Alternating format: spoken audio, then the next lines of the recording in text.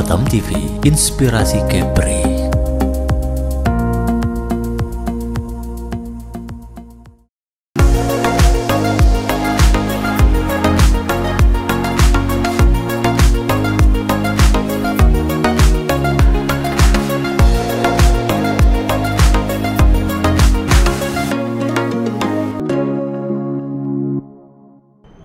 Rumah Sakit Glen Eagles Johor mengadakan pertemuan di Four Points Hotel Batam.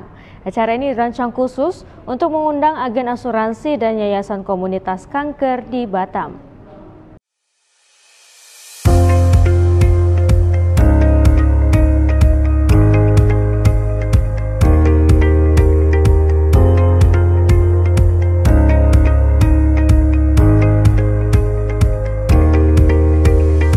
Dalam pertemuan ini, para undangan diberikan kesempatan untuk berinteraksi langsung dengan perwakilan dari Rumah Sakit Glen Eagles Johor. Acara ini menjadi momentum penting untuk memperkenalkan dokter spesialis bedah jantung dan toraks, Dr. Adli Azam Muhammad Razi. Okey, hari ini kami di Batam untuk berkongsi dengan uh, masyarakat di Batam tentang keberadaan uh, kardiotorasik surgeon kami. Uh, umum mengetahui bahawa uh, sakit jantung itu seperti jantung tersumbat adalah masalah yang common uh, di kalangan masyarakat bukan sahaja di Malaysia tapi juga di Indonesia. Jadi kami di sini uh, ingin memberi informasi kepada uh, perkhidmatan yang tersedia di Rumah Sakit Gleneagles Johor dan juga uh, cara-cara saringan yang yang uh, yang ada uh, supaya uh, umum di Batam uh, dapat mendapatkan rawatan yang terbaik sekiranya perlu. Jadi uh, uh, jadi bagi para wisata yang ingin mendapatkan uh, ujian saringan di di, di uh, Rumah Sakit Gleneagles Johor, uh, kini kami ada promosi uh, saringan kesihatan buat uh, pria dan juga uh, cowoknya. Uh, uh, berharga RM1,000 Uh, uh, duit Malaysia ya.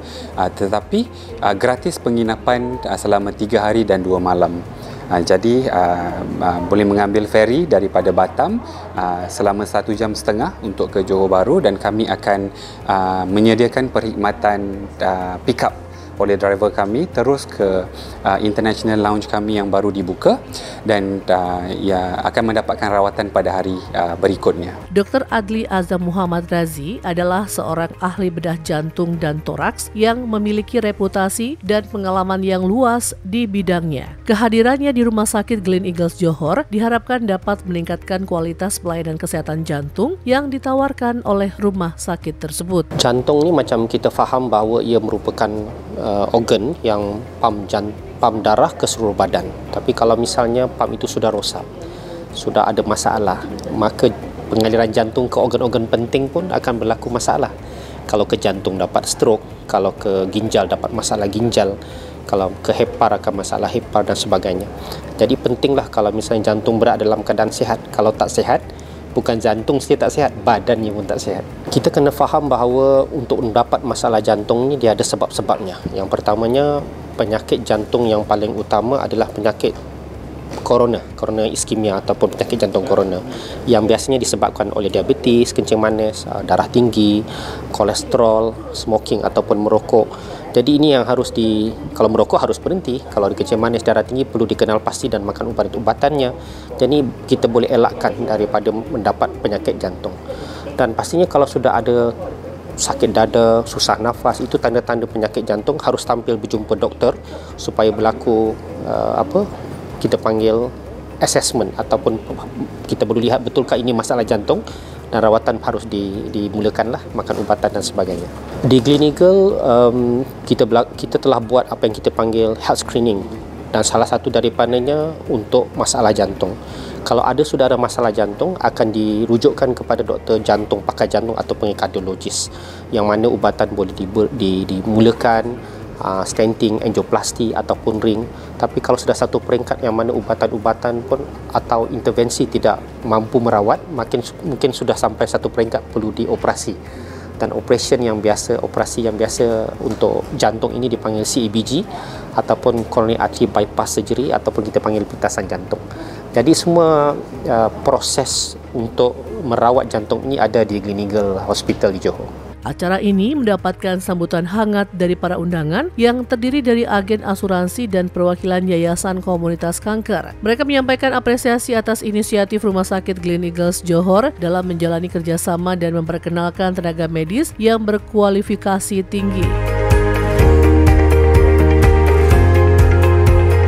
Acara ini merupakan bagian dari upaya rumah sakit untuk meningkatkan hubungan baik dengan berbagai pihak di Batam, serta untuk memberikan pelayanan kesehatan yang lebih baik kepada masyarakat. Diharapkan hubungan kerjasama antara Rumah Sakit Glen Eagles Johor dan agen asuransi serta Yayasan Komunitas Kanker dapat semakin erat. Selain itu, peningkatan akses dan kualitas layanan kesehatan jantung menjadi fokus utama dalam upaya ini.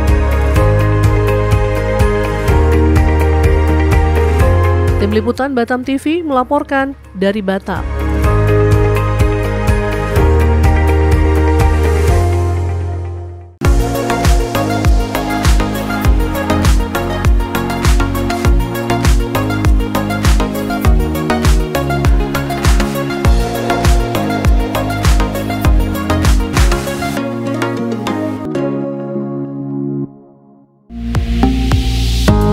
Batam TV, inspirasi Kepri.